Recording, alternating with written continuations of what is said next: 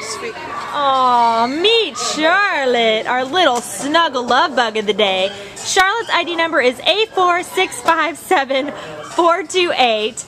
And she is a Chihuahua mix. We think she's about six months old, so she's just a puppy. And she came in as a stray on December 2nd from La Puente, weighing probably only seven pounds. she is just, as you can see, just has this sweet, calm energy about her. She's very attentive to her handler. she's, um, we think even, you know, when she perks up a little bit, she's still going to have a good low to medium energy level. She's not going to be too frisky of a doggy. She's just going to be a snuggler, love bug, very attentive to whoever she bonds with. Um, she's a puppy, so she's an absolute clean slate for training. So if you're looking for someone to cuddle up with, um, maybe, you know, older children because she's so tiny, or an individual or even a senior, we just think she's going to make a magnificent best friend.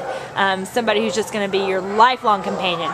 So come on down and meet Charlotte today. Take her home, snuggle up in a warm blanket, and make her part of your family from your friends at the Baldwin Park Shelter. Bye bye, Charlotte.